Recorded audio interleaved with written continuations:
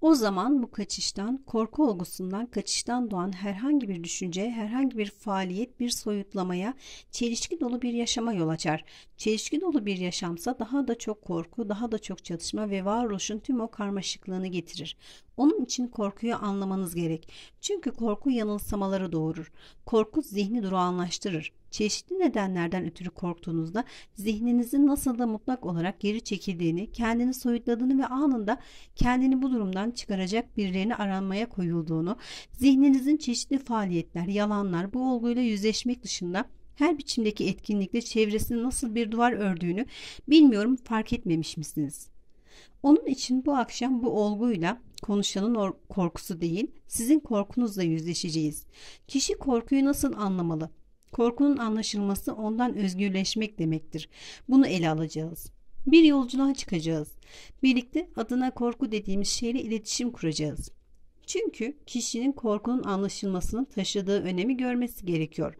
Onu anlamak bir ihtiyaç, zorunluluktur. Korkuyla yaşayan bir zihin ölü bir zihindir, kör bir zihindir. Açıkça doğrudan bakamayan, göremeyen, işitemeyen bir zihindir. Onun için insanın diğerleriyle, toplumla, her şeyle ilişkisini anlamak ve korkudan kısmen değil, bir parça değil, çeşitli durumlarda da değil, tümden özgür olmak çok önemli. Ben bunun mümkün olduğunu söylüyorum. Şimdi buna gireceğiz. Korkunun bir soyutlama olmadığını, kaçabileceğimiz bir şey olmadığını söylemiştik. Korku orada. İster bir gün kaçın, ister bir yıl. Şu ya da bu kadar süre. Nerede olursanız olun. Sizi yakalar ve peşinizden gelir.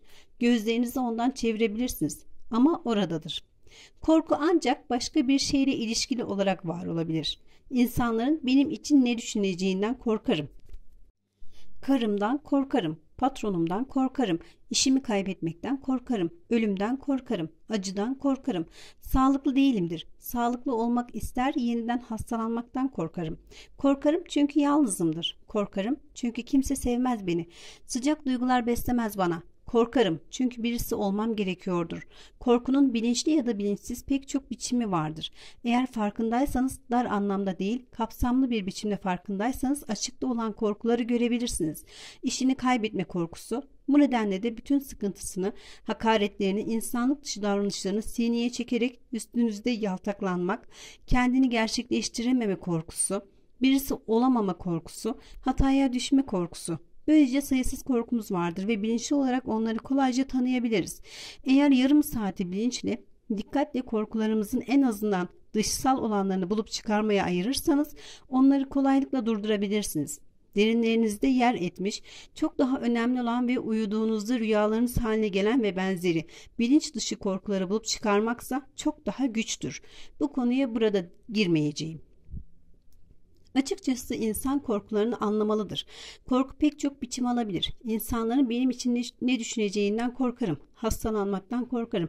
Karımı kaybetmekten korkarım. Birisi olamamaktan korkarım. Yalnız olmaktan korkarım. Sözcüğün ne anlama geldiğini biliyor musunuz? Hiç yalnız kalıp yalnızlığın nasıl bir şey olduğunu hissettiniz mi? Herhalde hayır. Çünkü etrafınızda aileniz var. Durmadan işinizi düşünüyor, bir kitap okuyor, radyo dinliyor, gazetelerin sonu gelmez dedikodularına kulak veriyorsunuz. Onun içinde bütünüyle soyutlanmış olmanın o tuhaf hissini muhtemelen hiç yaşamadınız. Arada bir Arada bir şöyle bir dokunup geçtiğini yaşamış olabilirsiniz belki. Ama herhalde onun acı, açlık, seksle olduğu gibi hiç doğrudan temasınız olmadı. Fakat korkunun nedeni olan o yalnızlığı anlamazsanız korkuyu da anlamayacak ve ondan özgürleşemeyeceksiniz. Korku kendini çeşitli biçimlerde dışa vurabilir ama tek bir korku vardır. Korku korkudur. Kendini nasıl gösterdiği, varlığından hangi aracılar yoluyla haberdar olduğunuz değil. İnsanların hakkımda ne düşündüğünden, ölümden, işimi kaybetmekten, daha binlerce şeyden korkabilirim. Ama korku aynı korkudur. Bu korkunun bilinçli mi, bilinç dışı mı olduğunu kişinin ortaya çıkarması ve ele alması gerekir. Yaşamı ne yazık ki en son psikologların ve benzeri yaptığı gibi bilinç ve bilinç dışı olarak ikiye böldük. Lütfen dinleyin şunu. İlgilenmiyor olabilirsiniz. Belki durup düşünmemişsinizdir bile. Psikolojiyle ilgileniyorsanız bu konuda okumuş ya da bilinç ve bilinç dışı ve benzeri üzerine konuşan birilerini dinlemiş de olabilirsiniz. Ama bunun açlığın işinizi kaybetmenin, belirli bir sınıfa mensup olmanın oynadığı gibi önemli bir rolü yoktur hayatınızda. Buna şimdilik kısaca değineceğiz.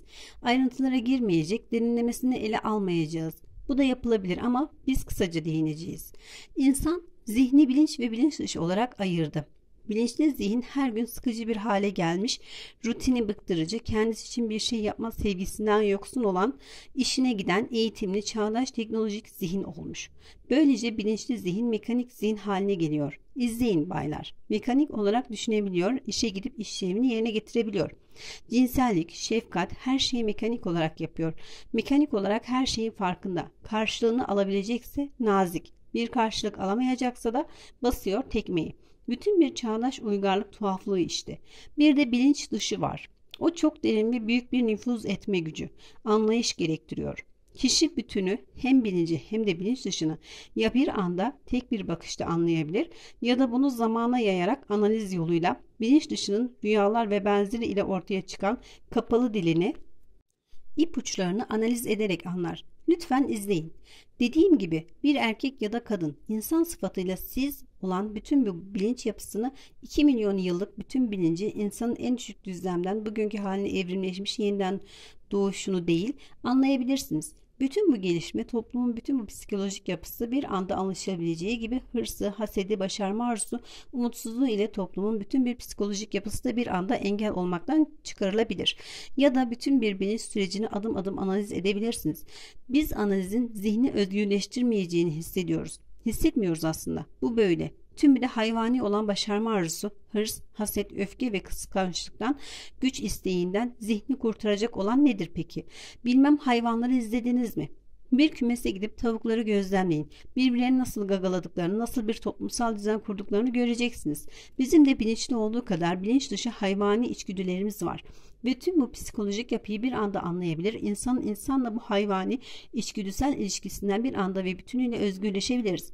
Bunun tek yolu da budur analiz değil. Ama bu şeyi, bu bilinci anlamak için kişinin gerçekten ve tümüyle korkudan özgür olması gerekir. Korku hayvanın özüdür. Korkuyu anlamak için de insan ona doğrudan yani sözler araya girmeksizin temas etmek zorundadır. Lütfen korkunuzu elinize alın. Bir şeyden korkuyorsunuz. Karınızdan belki, kocanızdan, çocuklarınızdan.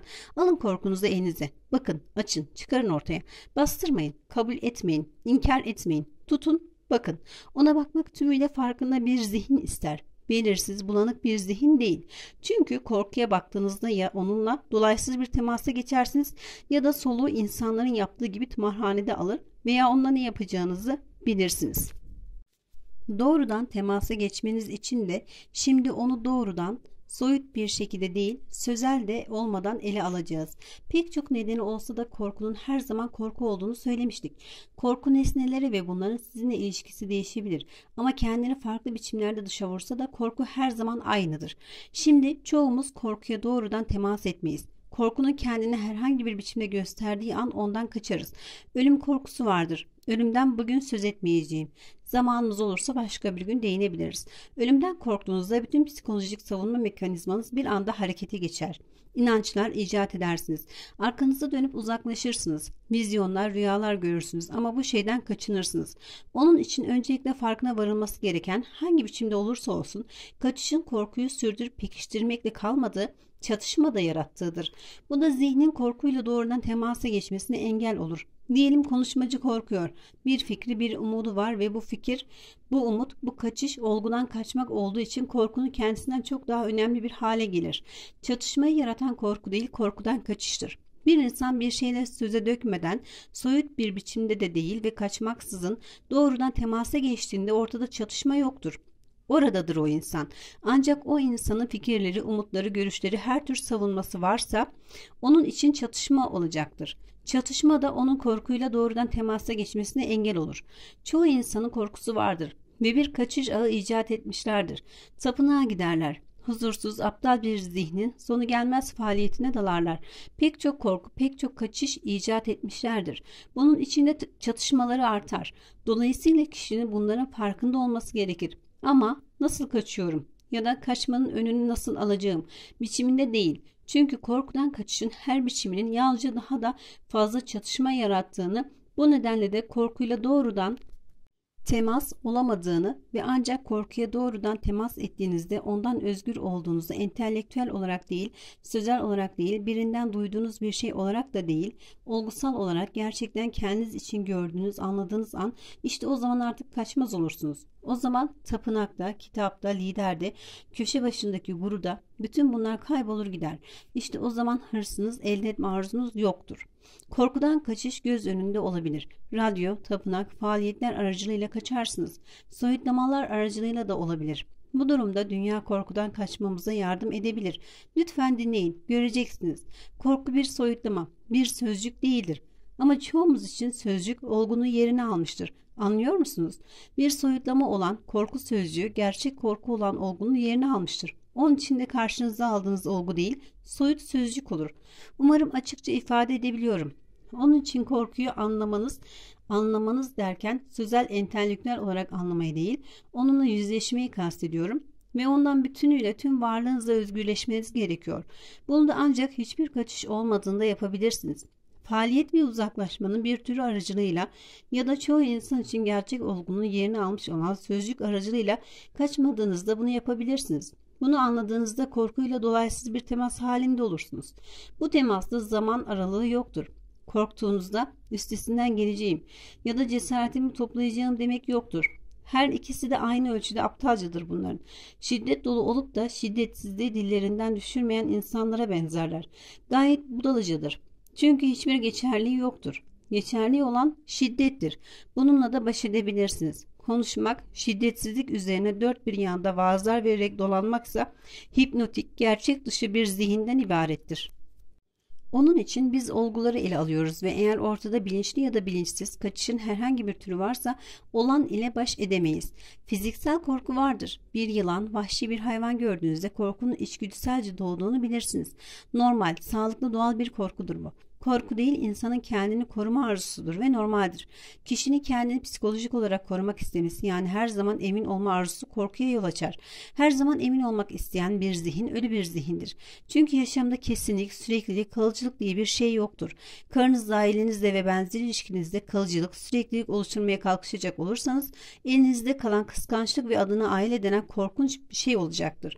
Korkuyla doğrudan temasa geçtiğinizde sinirleriniz ve benzerinin Buna bir karşılığı olur. O durumda zihin sözcükler ya da herhangi bir faaliyet yoluyla artık kaçmaz olduğunda gözlemleyen ve korku olarak gözlemlenen arasındaki ayrım ortadan kalkar. Sadece kaçan bir zihin kendisini korkudan ayırır. Korkuyla doğrudan temas olduğundaysa ortada bir gözlemci, korkuyorum diyen bir varlık yoktur. Onun için de hayatla herhangi bir şeyle doğrudan temasta olduğunuzda ayrım yoktur. Rekabeti, hırs ve korkuya yol açan da bu ayrımdır. Dolayısıyla önemli olan korkudan nasıl kurtulunacağı değildir. Korkudan kurtulmak için bir yol, bir yöntem, bir sistem arıyorsanız daima korkunun tutsağı olacaksınız. Ama eğer korkuyu anlarsanız bu da tıpkı açlıkla işinizi kaybetme tehlikesiyle karşı karşıya olduğunuzda yaptığınız gibi onunla doğrudan temasa geçtiğinizde olabilir ancak o zaman bir şey yaparsınız. Ancak o zaman korkunun tümüne son bulduğunu göreceksiniz. Demek istediğimiz korkunun şu ya da bu biçiminin değil, her türlü korkunun son bulduğunu göreceksiniz. Korkudan özgürleşmeden korkunun anlaşılması ve öğrenilmesinden zeka doğar. Zeka da özgürlüğün özüdür. Herhangi bir çatışma varsa zeka yoktur ortada. Korku olduğu sürece de çatışma kaçınılmaz olacaktır. Güvenlik diye bir şey var mı? İletişim sorunu her zaman zorlu bir konu olmuştur. Ciddi konularda insanların birbirleriyle iletişim kurmasının dikkatte belirli bir nitelik gerektirdiğini düşünüyorum. Çünkü çoğumuz diğerine bir şey iletmek istediğinde kendi içinde açık olmaktan uzaktır. Karşısındaki ise sırtında kendi problemlerinin, kaygı ve korkularının yüküyle aslında dikkatini vermiyor ya da dinlemiyor. Bu şekilde de iletişim son derece yorucu, son derece zor bir hale geliyor. Bunun gibi bir konuşmaya katılmak için her iki tarafın da konuşmacı kadar siz dinle, dinleyenlerin de bir etkileşim halinde olması gerekir. Birbirimizle etkileşim, etkileşim içinde olabilmemizi gerektirir. Bu da her ikimizin de aynı an ve aynı düzlemde yoğun bir dikkat halinde olmamız gerektiği anlamına gelir. Konuşmacı az sonra yapacağı gibi sözde kalan bir kabul ya da red değil de içgörü, problemin bütününe ilişkin derin içgörü isteyen bir şey söylemek istiyorsa siz ve konuşmacının karşılaşması aynı düzlemde, aynı yoğunlukta ve aynı anda etkileşmesi gerekir. Yoksa etkileşim olmaz, iletişim olmaz. Sözcükler iştir. Sözcükleri kendi kafanızda belirli bir dili anlayışınıza göre yorumlarsınız. Ama gerçek bir etkileşim halinde olmak hem sizin hem de konuşanın aynı anda yoğun bir biçimde hissetmesini, tüm dikkatinizi isteyen bir düzlemde yoğun bir etkileşim içinde olmasını gerektirir. Yoksa ortada iletişim olmaz. Bilmiyorum, hiç kendinizle etkileşim içinde oldunuz mu? Meditasyon değil, sadece etkileşim, iletişim, temas halinde oldunuz mu kendinizle? Eğer kendi zihninizle, yüreğinizle temassa, etkileşime geçtiğiniz olmuşsa, etkileşim halinde olmanın belirli nitelikte bir dikkat niteliği gerektirdiğini bilirsiniz. Kıvrak bir biçimde izleyebilecek, sözcüğün anlamı kadar ardında yatan manayı da süratle görebilecek durumda olmanız gerekir. Etkileşim ya da iletişim ancak hem sözcüğün doğası ve anlamını hem de taşıdığı ağırlığı anladığımızda mümkündür. Bana öyle geliyor ki Özellikle de büyük bir içgörü, incelmiş bir düşünce ve takip sürati isteyen konular sizden kendinize etkileşim içinde olmanızı istemekle kalmıyor, konuşmacıyla da böyle olmanızı gerektiriyor. Dolayısıyla dinleyici olarak size düşen görev iki kat daha zor. Çünkü yalnızca kendinizi anlamak ve kendinizle etkileşim içinde olmanız gerekmiyor. Aynı zamanda sözcükleri dinlemeniz ve ağırlığı sözcüklere vermemeniz, kelimelere takılmamanız da gerekiyor. Özenle saptırmayan, biçimini değiştirmeyen, kıyaslamayan bir yoğunlukla dinlemeniz hem kendiniz hem de konuşanla duyarlı bir iletişim içinde olmanız da gerekiyor. Büyük bir iş bu, muazzam bir iş. Çünkü yaptığımız önemsiz bir konuda siyaset ya da toplumsal bir reform üzerine öylesine sohbet etmek değil. Sözünü ettiğimiz insan varlığının özüne dokunan bir şey. Buradaki son konuşmada şeylerin köküne ineceğimizi, varlığımızın özünü sorgulayacağımızı, araştıracağımızı söylemiştik. Bu yalnızca sizin kendi zihinsel, ruhsal durumunuzun farkında olmanızı istemiyor. Aynı anda, aynı düzlemde, aynı yoğunlukta söyleneni dinlemeniz de gerektiriyor. Böylece işiniz çok daha çetin bir hale geliyor. Öylesine dinliyor, onaylıyor ya da onaylamıyor değilsiniz. Zihnimizin ve varlığımızın bütün yapısını gerçekten araştırıyoruz. Bunu siz de konuşmacıyla işbirliği içinde yapıyorsunuz. Bu nedenle de konuşmacıyla olduğu kadar kendinizde de etkileşim içinde olmanız gerekiyor. Başka türlü konuşmacıyla aranızdaki bütün iletişim anında kesilir. Siz bir noktada kalırsınız. Konuşmacı başka bir noktada ya da yoluna devam eder gider. Sizi bekleyenin yapmanız gerekenin nasıl bir şey olduğunu gördüğünüzü umuyorum. Bunu ben sizin için oluşturmuyorum. Siz kendiniz için oluşturuyorsunuz. Ve ister bir bulutun bir güneş batışının güzelliği ile doğa, ister karınız, çocuklarınız, komşunuz, patronunuz olsun. Diğeri ile etkileşim halinde olmanın biricik yolu budur. Üzerinde düşündüğümüz, konuştuğumuz ya da kulak verdiğimiz ile doğrudan bir ilişki içinde olduğumuzda bu dikkat halinde olmalısınız. Lütfen bunun taşıdığı önemi görün. Yoksa sizinle konuşmacı arasında hiçbir ilişki olmaz. Bu yalnızca içsel değil, dışsal olarak da açıklık kazandığında zihniniz oradan oraya atlamadığı ya da yorgun olmadığında dinlediğinizde yorum, kıyaslama, değerlendirme yapmadığınızda, gerçekten dinlediğinizde işte o zaman her ikimizin de varlığımızın en derinine doğru yolculuğa çıktığımızı ve orada zihinlerimizde, yüreklerimizde yaşadığımız bütün eziyetleri, bütün zorlukları, bütün problemleri keşfettiğimizi göreceksiniz. Bu akşam çatışmanın doğası ve bütün çatışmalardan tümüyle özgürleşmenin mümkün olup olmadığı üzerine konuşmak istiyorum. Çatışmadan kastım çabadan, sürekli tasadan, kaygı, içeride ve dışarıda var olan zıtlaşma, güvensizlik hissi, güvende olmama ve huzursuzluktan uzak bir hal, kalıcı bir hal.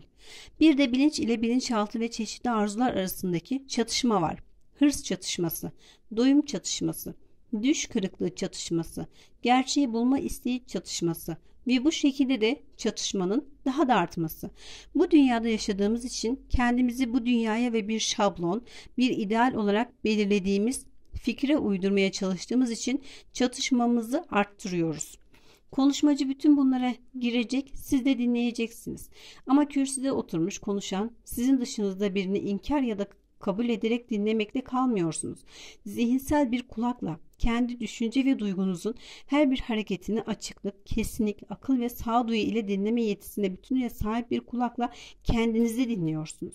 Çoğumuz bir tür güvenlik ister. Çünkü doğduğumuz andan öldüğümüz ana dek hayatımız sonu gelmez bir çatışmadır.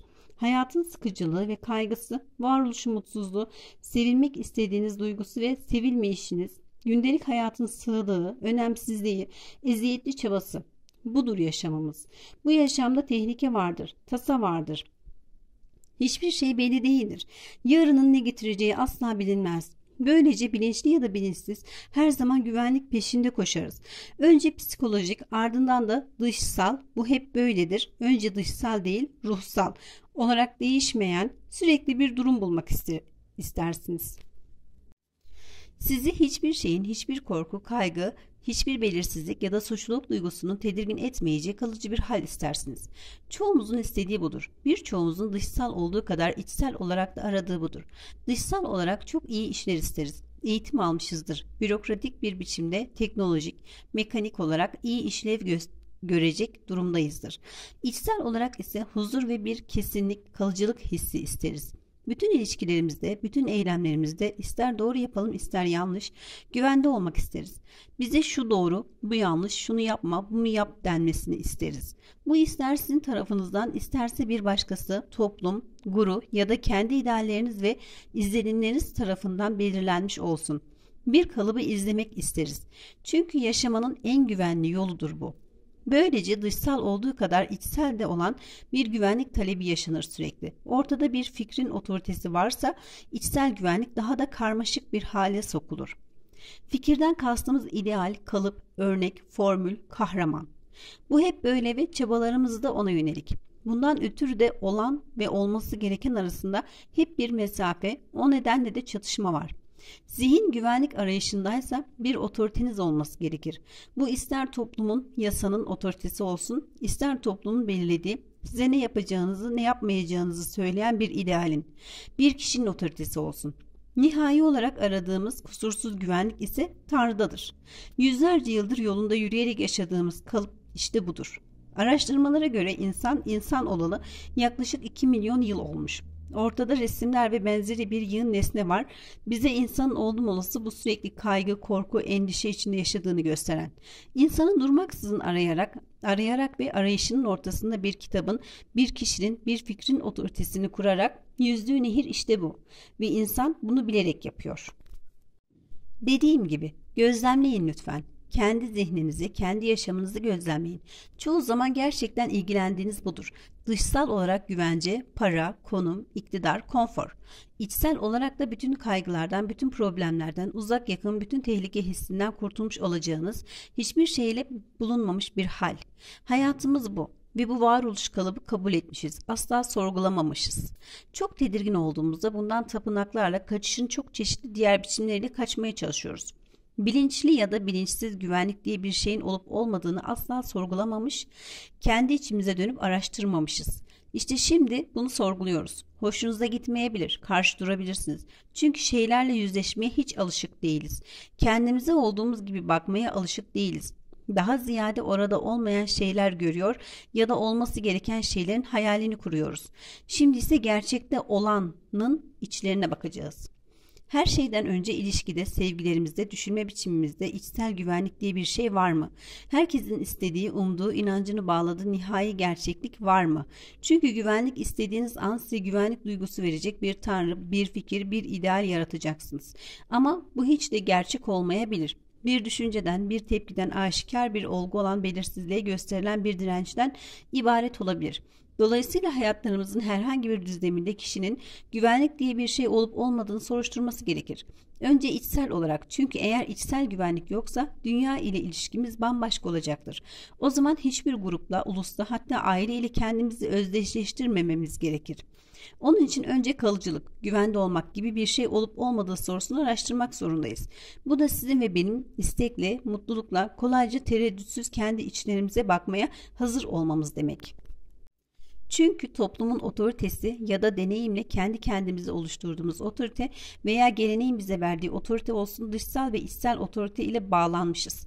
Boyun eğişte güvenlik olduğu için boyun eğmeye eğitilmişiz. Güvenlik diye bir şeyin olup olmadığını ortaya çıkarmak için ise kişi her türlü otoriteden özgürleşmek zorunda. Bunu anlamak çok önemli. Çünkü bütün dinler kalıcı ruhsal bir varlık olduğu fikrini desteklemiş. Farklı adlar vermişler buna ruh, atma ya da her ne diyeceksiniz. Biz de propaganda, şartlanma, kendi korkularımız ve güven isteklerimizle kabul etmişiz. Bunu avutucu gerçek bir şey hakikat olarak kabul etmişiz. Böyle bir şey olmadığını, bunun bir inanç sorunundan ibaret olduğunu geçerliliği olmadığını söyleyen bütün bir dünya var. Ateist, tanrısız dediğiniz komünist dünya bu. Sanki bir inancınız var diye çok sofuymuşsunuz gibi. Dolayısıyla bu güvenlik sorunu derinlemesine araştıracak bir insanın otoritenin her türünden bütünüyle özgür olması gerekiyor. Yasa otoritesinden, devlet otoritesinden değil, zihnin bir kitapta, bir fikirde, bir deneyimde, hayatta aradığı ya da yapılandırdığı otoriteden. Bütün bunları bilinçli ya da bilinç dışı izleyin lütfen. Ancak otoriteden özgür böyle bir zihin bu muazzam güvenlik sorununu irdelemeye başlayabilir. Yoksa sizinle benim aramda hiçbir etkileşim olmaz. Çünkü ben psikolojik olarak güvenlik diye bir şey olmadığını söylüyorum. Güvenliği Tanrı'da bulmaya çalışıyorsanız bu sizin icadınızdır. Arzunuzu Tanrı adını verdiğiniz bir simgeye yansıtıyorsunuz. Ama bunun hiçbir geçerliliği yoktur. Onun için bu anlamda otoriteden özgür olmak zorundasınız. Zihin bir idealde, bir formülde, bir kişide, bir kilisede, belirli bir inançta otorite arar ve yapılandırır. Sonra buna uyar, boyun eğer. Bütün bunlardan sadece bilinçli olarak değil, çok daha zoru, bilinçsiz olarak da özgürleşmek zorundadır. Sözüm ona eğitimli çoğumuz Tanrı'ya inanmaz. Çünkü bu o kadar da önemli değildir. Çünkü ya çok iyi bir işleri ya da haya, hayli paraları vardır. Tanrı inancı ise modası geçmiş bir şeydir. Onu kaldırıp attığımız gibi camdan dışarı yolumuza devam ederiz. Ancak araştırmayı bilinç dışına doğru sürdürmek ve bilinç dışı otorite bulma dürtüsünden özgürleşmek çok daha çetindir. Bilinç dışının derinliklerine girmiyor, şöyle bir değiniyorum sadece. Bilinç dışı binlerce yılın geçmişidir. Bilinç dışı ırkın, ailenin, toplu bilginin kalıntısıdır. Bilinç dışı bütün bir gelenektir. Onu bilinçli olarak inkar edebilirsiniz. Yine de oradadır. Ve sıkıntı anlarında otoritemiz haline gelir. Şöyle der o zaman bilinç dışı.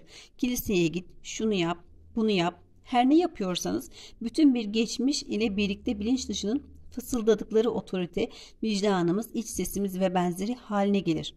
İşte onun için kişi güvenlik olup olmadığını ortaya çıkarmak ve kendisi için keşfedeceği güvenliğin olup olmadığı gerçeğiyle yaşamak üzere bütün bunların farkında olmak durumundadır. Bir fikirle, bir ırkla, bir toplulukla, belirli bir eylemle özdeşleşerek de psikolojik olarak, duygusal olarak büyük ölçüde güven buluyoruz. Bu kendimizi belli bir hedefe, siyasal partiye, belirli bir düşünce biçimine, belirli adet, alışkanlık ve Hindu, Parsi, Hristiyan, Müslüman ve benzeri olarak törenlere adamamız anlamına geliyor. Kendimizi belirli bir yaşam, düşünce biçimine adıyoruz. Bir grupla, toplulukla, belirli bir sınıf ya da fikirle özdeşleşiyoruz. Ulusla, aileyle bir grup, bir topluluk bu özdeşleşmede size belirli bir güven duygusu veriyor. Ben Hintliyim, İngilizim, Almanım ya da her neyseniz dediğinizde kendinizi çok daha güvende hissediyorsunuz. Bu özdeşleşme size güven veriyor. İnsanın bunun da farkında olması gerek. Soruyu dosdoğru bütün yönleriyle anlamadığınızda kendinize sorduğunuz güvenliğin olup olmadığı sorusu son derece karmaşık bir hal alır. Çünkü çatışmaya doğuran muhtemelen güvenlik diye bir şey hiç yokken güvende olma arzusudur. Hiçbir düzlemde hiçbir çeşit tür güvenlik olmadığı gerçeğini psikolojik olarak gördüğünüzde ortada çatışma diye bir şey de kalmaz. İşte o zaman eyleminizde yaratıcı yanardağ gibi fışkıran düşüncelerinizde patlayıcı bir hale gelirsiniz. Sizi tutan hiçbir şey yoktur. İşte o zaman canlısınızdır. Çatışma içinde bir zihnin açıkça, berrakça, engin bir sevgi ve yakınlık duygusuyla yaşayamadığı ortadadır. Sevmek için olağanüstü duyarlı bir zihin gerekir. Ama sürekli korku, sürekli endişe içindeyseniz, güvensiz ve bundan ötürü de güven arayışındaysanız duyarlı ol olamazsınız. Tıpkı parçaları birbirine sürtünüp duran bir makine gibi çatışma içinde olan bir zihin de kendi kendine aşınır, donuklaşır, sersemler, yorulur. Onun için önce soralım. Güvenlik diye bir şey var mıdır? Bunu sizin bulup çıkarmanız gerekiyor. Benim değil. Ben ruhsal olarak hiçbir düzlemde, hiçbir derinlikte güvenliğin hiçbir çeşidinin olmadığını söylüyorum. Bu sizin için bir gerçeklik değil. Eğer alır da tekrar ederseniz yalan söylemiş olursunuz. Çünkü bu sizin için gerçek değil. İş size düşüyor. Cevabı kendinizin vermesi gerekiyor. Çünkü ivedi bir sorun bu. Çünkü dünya karmaşa içinde. Umutsuzluk, şiddet, kabalıkla korkutucu bir durumda. Dünyadan kastım içinde yaşadığınız dünya. Rusya, Çin ya da İngiltere değil. Etrafınızdaki dünya. Aile ilişki içinde olduğunuz insanlar. Sizin dünyanız bu. Öylesine yanından geçip gitmenizde derinlemesine bakacak olursanız kol gezen bu muazzam umutsuzluk, kaygı, yozlaşma sürekli taklit duygusunu bulacaksınız. Ve bu hayatın bütün enginliği, olağanüstü güzelliği, yaşam derinliğini, hayatın hayali derinlik, hayali güzelliğini değil, gerçek, yaşayan, cap canlı, güçlü hayat, varoluş, yaşama güzelliğini. Anlamak için zihninizin çatışmanın kırıntısını bile barındırmayan bir halde bulunması gerekir. İşte bundan ötürü cevabı kendiniz için bulmalısınız ve bulmaktasınız. İçsel olarak güvenlik olduğu duygusundaysanız sürekli bir çatışma halinde yaşayacaksınız demektir. Sürekli bir taklit, boyun eğimi, ayak uydurma halinde. Bu nedenle de asla özgür olamayacaksınız. Zihniniz ise bütünüyle özgür olmalı. Yoksa göremez, anlayamaz. Özgür değilse bir ağacın güzelliğini, bir bulutun hoşluğunu ya da bir yüzdeki tatlı gülümsemeyi göremez. Güvenlik var mıdır?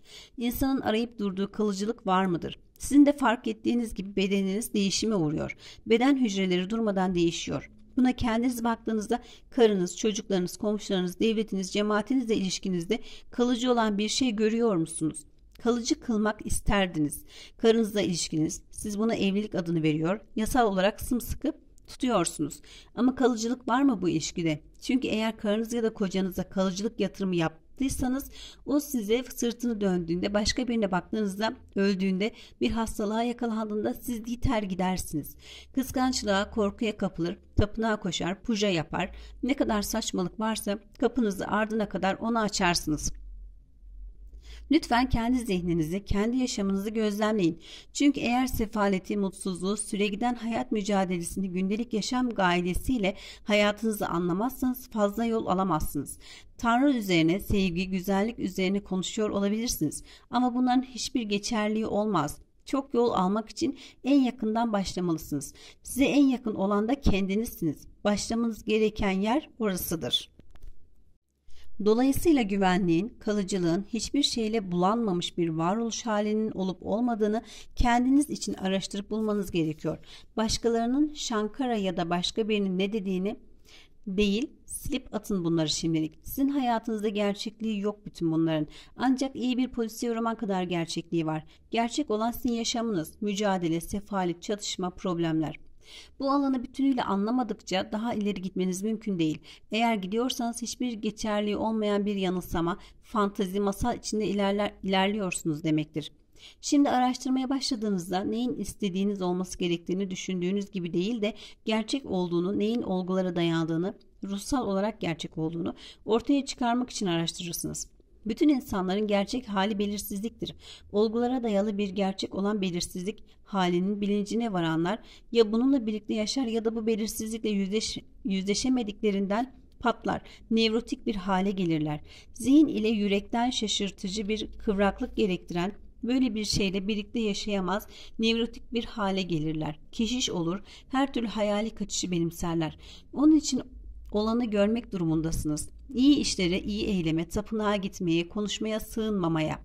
Olgu sizden bütün dikkatinizi ister. Olgu hiçbirimizin güvende olmayışı, güvende olan hiçbir şeyin olmayışıdır. Gerçek hiçbir şeyin kesin olmadığıdır. Hiçbir şeyin Oğlum ölebilir, karım evden kaçabilir, ben hastalanabilirim. Hiçbir şey kesin değildir. Neden kabul edip bu gerçekle yaşamıyoruz ki? Bunun da yaşamanın ne anlamı geldiğini biliyor musunuz? Bir şeyle birlikte yaşamaya çalışıp da ona alışmadığınız oldu mu hiç? İnsan bir ağaca bir gün batımının güzelliğine kolayca alışabilir. Biliyorsunuz. Çok kolaydır bu. Ama bir ağaçla birlikte yaşamanın, gün batımını her gün yeni bir gözle görmenin, yaprağı sanki ilk kezmiş gibi berrakça yoğunlukla o yaprağın olağanüstü güzelliğini hissederek bakmanın gerektirdiği şey hafıza değildir. Ona her gün yeni bir gözle bakmayı, taze ve yoğun bakmayı gerektirir bu. Dolayısıyla insanın belirsizlikle birlikte yaşaması gerekir. Çünkü ancak belirsiz bir zihin yaratıcıdır. Sürekliliği olan bir zihin değil. Bütünüyle güvende olup da yaratan, bir şiir yazan zihin değil. Olgunluktan uzak, fazlasıyla toydur böylesi. Bu tümüyle belirsiz içsel halde yaşadığınızda hayatın herhangi bir düzlemdeki bütün sorunlarını, krizleri, zorlukları berraklık ve kıvraklıkla karşıladığınızı göreceksiniz. Çünkü çoğumuz için bir zorluk karşısında gösterdiğimiz tepkinin yersizliği çatışmanın da başlangıcıdır. Hayat her birimizin karşısına ruhsal durumumuzu algılama biçimimize göre çeşitli şekillerde bilinçli ya da bilinçsiz zorluklar çıkarıyor sürekli. Durmadan. Günde 24 saat. Bunların her birine her seferinde bütünüyle nasıl bir karşılık vermelisiniz ki hiçbir çatışma olmasın. Verdiğiniz karşılığın tas tamam yerinde olması gerekir. Bunu da her seferinde bu şekilde koruyamazsınız. Tepkinizde bir uyumsuzluk varsa bu sorun yaratır. Kişinin bu durumda o problemi anında ele alması ve anında da çözmesi gerekir. Bu da ancak zihninizin bütünüyle hareket halinde bağımsız ve canlı bir halde olmasıyla mümkündür. Ve siz ancak zihin tüm güvenlik korkusundan bütünüyle özgür olduğuna canlı, hareketli, olağanüstü aktif ve eylem sizlikte olabilirsiniz. Ama görüyorsunuz gündelik yaşamımız işe gitmek, aile, seks, para, hazlar çoğumuzu hırpalıyor. Ömrünün 30-40 yılını her gün işe giderek geçirmiş bir insanı düşündünüz mü hiç? Bilmiyorum. Zihnine bir bakın. Bundan başka bir şekilde işlev göremez o adam. Tıpkı belirli bir rahatsızlık üzerine uzmanlaşmış, imanı bu rahatsızlık olan bir doktor gibi. 30-40 yılın ardından zihniniz yorulur. Artık taze değildir, genç değildir, hırpalanmış, uzmanlaşmış, tükenmiş, biçimlenmiştir. Böylece bir köşeye sıkışıp tutunur ve hayat geçip gider. Bu hepimizin çocuklar için istediği bir şey. Önlerindeki 30-40 yıl boyunca iyi bir işlerinin olması, böylece donuk aptal yaşamla yüzleşemeyen bir hale gelmeleri. Savaşlar var, insan insanı yok ediyor, korkunç bir gaddarlık var. Herkes çıkıp Tanrı adına, toplum adına kendine kar biçmek ya da özdeşleştiği fikir için herkesi kullanarak iyilik ediyor, gidip insanlara yardım ediyor falan filan. İnsanın hali bu. Bireyin de, demiyorum çünkü birey bambaşka bir şeydir. Gerçek bireysellikten ancak bir başınıza iseniz toplumsal, çevresel kontrol ve biçimlendirmenin her biçiminden tümüyle özgürseniz söz edilebilir. Siz bir insansınız. Bu korkunç sefalet dünyasında eziyet gören, kapana kısılıp kalmış bir insan ve oradan kaçamıyorsunuz. Bu bir vaka, bir olgu. Bununla boğuşmak, dişinizle tırnağınızla didinmeniz gerekiyor. Bu da enerji istiyor, tutku istiyor. Hayatınızı çatışmada harcarsanız bu tutku ve enerjiyi bulmanız mümkün olmaz. Onun için bir zihin başından sonuna kadar bu muazzam çaba adına evrim dediğimiz durmadan sonu gelmeksizin bir şey olmaya çalışma problemini anlamak durumunda. Kişi bir şey olmak için durmaksızın çabaladığında, savaştığında zihnin durağanlaşmasını getirdi. Tanrı'yı buldum. Bir gerçek buldum ve bununla mutluyum huzurunu. Hayali bir huzuru değil, gerçek huzuru tek bir an bile asla bulamaz. İnsan çatışmayı kendi varlığını anlamamışsa, derinliklerine genişlemesine açıklıkla girmemişse ne yaparsa yapsın huzuru yoktur. Başkalarına karşımış gibi yapabilir. Çünkü iki yüzlüdür. Ama bu gerçeği bulmak için kişi bu güvenlik sorusunu bütünüyle anlamak, özgür olmak ve bu belirsizlik halinde yaşamak zorundadır. Çoğumuz için hayat boştur. Boş olduğu için onu akla gelebilecek her türlü şeyle doldurmaya çalışırız. Ama eğer bu güvenlik, güvensizlik sorusunu anlar da derinlerine inerseniz o zaman o güvenlik ve çatışma problemini bütünüyle anlarsınız. İşte o zaman kendiniz için hiçbir korku, hiçbir kaygı, boyun eğimi, itki duygusu barındırmayan tam bir varlık hali keşfedersiniz. İnanmazsınız, keşfedersiniz. Aramayan, kendi ötesinde hiçbir hareketi olmayan bir ışık olma hali.